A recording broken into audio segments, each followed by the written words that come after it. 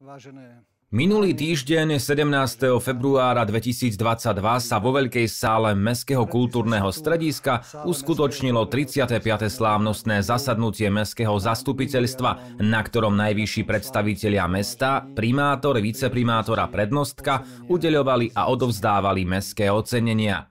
Mestské zastupiteľstvo už na predchádzajúcom zasadnutí schválilo nominácie a rozhodlo sa udeliť trom významným osobnostiam tituly Čestný občan mesta Moldava nad Bodvou, piatim obyvateľom cenu mesta Moldava nad Bodvou a primátor mesta udelil jednu cenu primátora.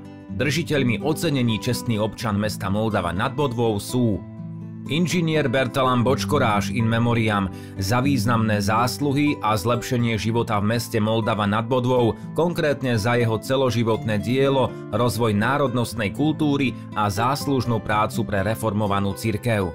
Tibor Max Eisen za zásluhy o porozumenie a priateľstvo medzi národmi a tiež za vynikajúce tvorivé výkony a činy, ktoré obohatili ľudské poznanie. Ocenenie mu patrí za dlhoročnú vzdelávaciu, osvetovú a publikačnú činnosť v boji proti extrémizmu a antisemitizmu. Magister Jene Hauser in memoriam za významný ľudský a profesijný prínos pre občanov mesta Moldava nad Bodvou, vyzdvihujúc jeho láskavosť a ľudský prístup.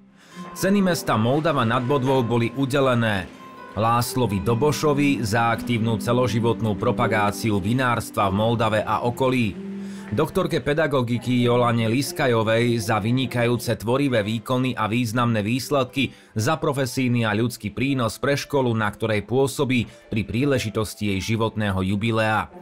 Imrichovi Naďovi za celoživotné zásluhy pri zviditeľňovaní mesta a okolia prostredníctvom autorskej filmovej tvorby. Valérii Spíšákovej za dlhoročné darcovstvo ocenené diamantovou Janského plaketou a Juliusovi Rezešovi za propagáciu a pozitívne zviditeľňovanie mesta Moldava nad Bodvou doma i v zahraničí a za pozorúhodné výsledky v oblasti kultúry, najmä v oblasti ľudového spevu.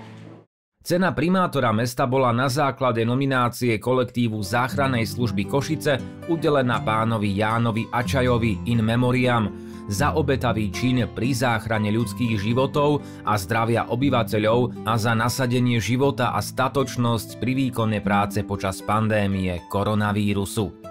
Slávnostnú atmosféru počiarklo vystúpenie dua umelcov, huslistky Jany Vozníkovej a klaviristu Erika Jambora v úvode a závere a rovnako tak ľudské medailóny o ocenených premietané na veľkoplošnej obrazovke. Všetkým oceneným srdečne blahoželáme.